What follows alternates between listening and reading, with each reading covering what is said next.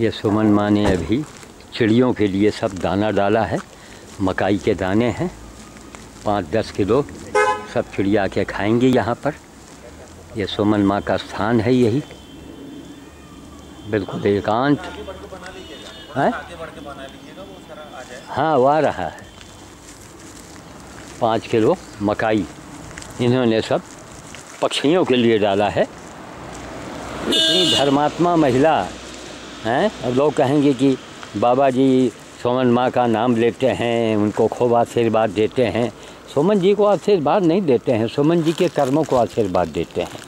सोमन जी के भाव को आशीर्वाद देते हैं। आज रायबरेली में कितने जितने भी जानवर का मैं इलाज कर रहा हूँ, सब सुमन माँ की ओर से मैं कर रहा हूँ। सारी व्यवस्था उन्होंने कर रखी है। लखनऊ में सारी व्यवस्था, हमारी अंजलि के लिए उन्होंने व्यवस्था किया है।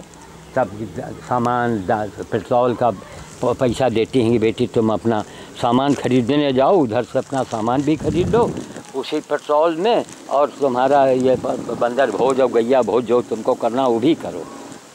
तो अब इतनी उदारीकरण इस महान महिला के द्वारा जो कार्य हो रहा है संपादित, मैं समझता हूँ कि बड़े बड़े संतों को, महंतों को नसीब नहीं होगा।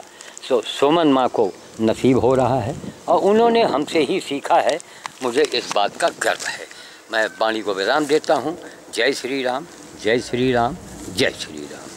फूल की यहाँ कमी नहीं, हालाँकि अगर जानवर हो तो कितने घास हैं यहाँ पर। जय श्री राम, जय श्री राम, जय श्री